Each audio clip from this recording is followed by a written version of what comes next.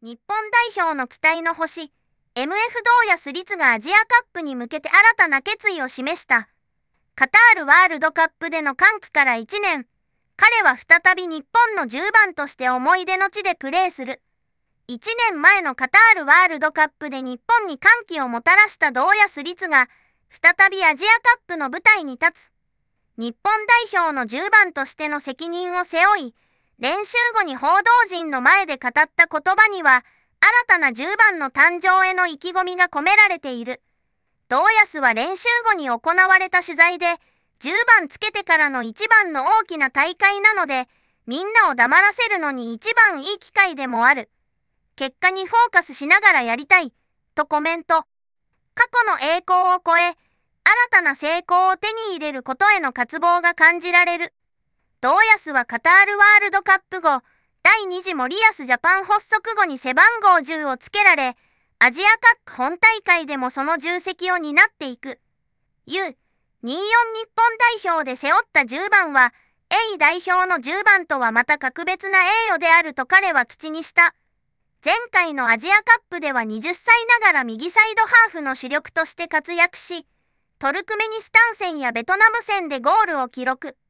しかし、決勝での敗北により、同安はその大会に対して、不甲斐ない大会でしたね、と振り返る。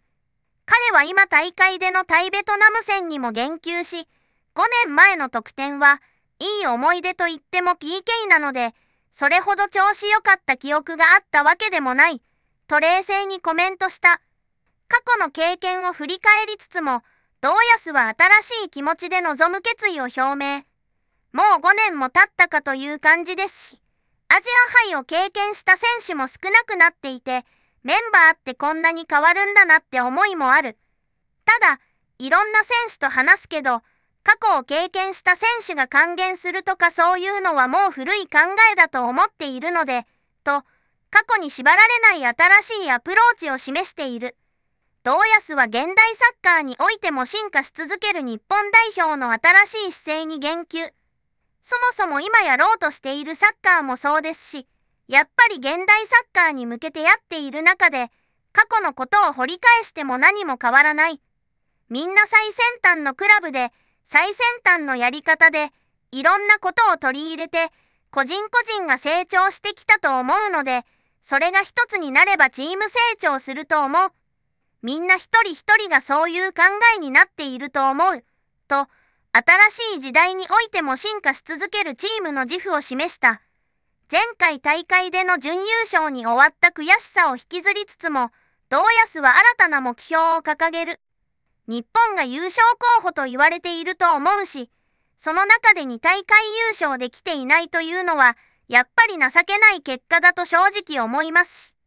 頭の中では日本がそろそろ圧倒的ナンバーワン、アジアナンバーワンにならなくちゃいけないと思っている。頭の片隅にはそんな甘い大会にはならないというのもやっぱりわかっているし、理想と現実は違うのはわかっているけど、もちろん俺たちは理想を求めて大会に臨んでいくので、と、日本代表の新たなステージに向けての決意を語った。